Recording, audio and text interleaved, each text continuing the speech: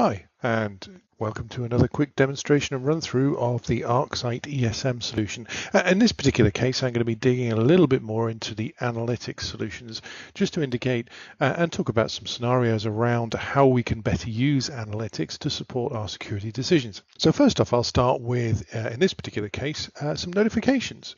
So we've got two here, and the way I regard this is a two-way process with regards to analytics specifically. Uh, we need to be able to send data to our analytics solution and equally we need to receive data from. I'm going to deal with the first scenario, which is to send data to analytics.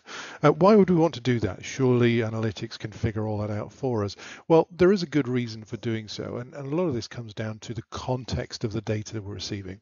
So, for example, I'll take this particular uh, event first here, which is attack progressing crossed firewall. It's uh, been already escalated as a high priority. And if I actually look at the event here, I can see there's corresponding base events here. Well, if my analytics is getting all this data, surely it's it's figuring all this out. What's the, the additional context here? Well, the context they're adding is with reference to its crossed a firewall, with reference to understanding what's inside and what's outside, what's part of my network in this particular case here, and what's external to my network, as in the attacker here, and what the relevance is, uh, and, and attaching additional information to understand what that relevance is as part of the context categorization as we send it for further uh, analysis through the analytics engine.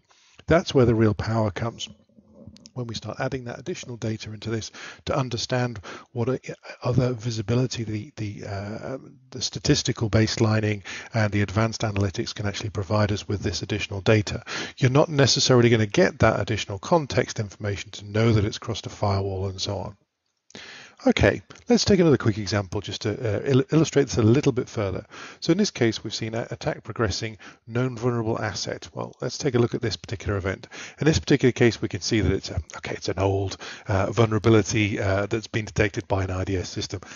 The relevance here is that we've actually attached and understood that this asset that's been touched uh, is actually vulnerable. We can see the, the vulnerability here. We can actually jump very quickly through to that. So it's literally just uh, double clicking me, uh, double clicking and, and dragging through into that particular asset. There we can see the asset. There we can see the vulnerable asset there. We can just double click on that. We can even dig down into the assets that are attached to that asset as well. But that's irrelevant. I, am not going to worry about that too much here.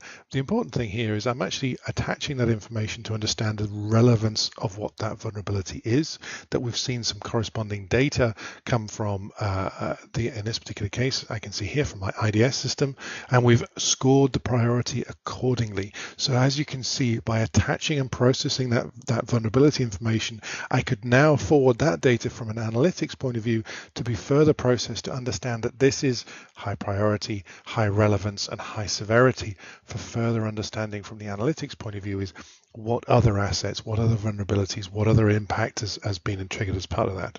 So that's sending data into our analytics solution to add further capability around the context to understand what it means. What about the other way around? Well, okay, let's let's take some data uh, so we can just scroll down here a second and we can see lots of data here. We can we can understand this information. What we're seeing is a lack of user information specifically. So okay, that's that's fair enough. You know, maybe we've not seen any logins or logouts. The great way with, in the case of the uh, Hewlett Packard Enterprise uh, Security Analytics Solutions, actually is called User Behavior Analytics, is that it focuses around the user and the identity information. That's when suddenly we can start to add a lot more visibility to what's going on. So here we can see there's a lot more uh, user data, there's information on what's going on. Um, if we just looked at uh, a particular set of this data, I'll look at this particular one here, we can see that it's a, a log on event here. We can see there's authentication verified as a success. Uh, we know this has come from a Windows device and we can see all the user information and the data we'd normally get from Windows. But the great thing in the case of the uh, UBA or User Behavior Analytics solution is we can start to understand what's going on with relevance to what that user is trying to do, what their access rights are, how they're doing additional uh, access and, and logins and escalation, which of course is that's the key vector for this kind of information uh, and how an attacker will use it against us is they will escalate their privileges to do things that they shouldn't be doing. But of course, that's where UBA starts to come in. So, okay, let's just look at the UBA events for a second here and let's just understand what we're seeing. So this is the event data that's being forwarded from our analytics platform to tell us what's going on. The great thing here is we've actually understand, uh, for example, here, cleanup uh, of suspicious access privileges. We can see this particular user is doing that. We can see that this particular user is doing something around peer-based uh, analysis and detection of privileged activity. We can even see monitoring indicators to indicate that there's been a possible escalation here as well. The great thing, of course, is actually I can dig into any one of these. Just double click, look at the event, dig down, and more importantly, because we've linked this with an identity system, we can actually get who the uh, individual person is behind this as well. Now we're adding the context back in to our real-time processing platform. Why would we want to do that? Well, just think of it this way. Of course, what we could do is we could even have that information because we know the username that's being used here. Uh, if we ever see that username, we could automatically increase the priority of events uh, touched with that particular host or in that particular uh, workstation that's been used as well. We can do that very simply and very easily just by adding information to what we call a compromised user list. We can see here, there's the data. It's actually added this through a rule. Uh, it's very simple. We've done this programmatically. It's a state thing. We're tracking that state. We're understanding that these are the usernames that are suspicious. We've put the IP addresses on here. We've even put the zones and so on. So, so suddenly we're starting to add some some uh, very very useful context data back into the real-time system well, surely the analytics platform can do that as well. Yes, to a degree, there is some validity in doing some, that as well. But surely the great advantage here is if I wouldn't be looking at a list of events as such, I'd be looking at a list of prioritized based uh, correlations that have occurred and now I can start to understand, well, I'm seeing users added to lists. I'm seeing particular IP addresses being used on other activities. I'm seeing them tripping up against reputation and threat intelligence data as well. Suddenly I can do this in real time rather than having to wait for an analytics job to finish.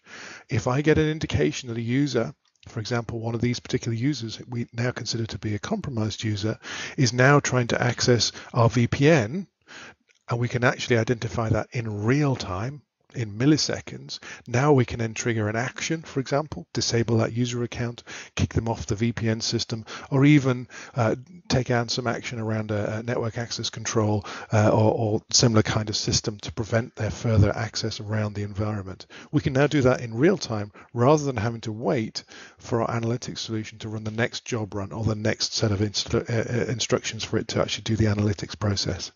That's the advantage that we want to be sending data to analytics around the context of what the data means, for example, vulnerabilities, uh, and piecing together the context of the infrastructure. Equally, we want to be receiving data from our analytics solution. In this case, it's based around the user and the identity, so then we can take real-time effects and stop and block users from what they're doing as well. That's all I wanted to cover. It's a very, very quick run through of some of the scenarios you'd want to be looking to do that.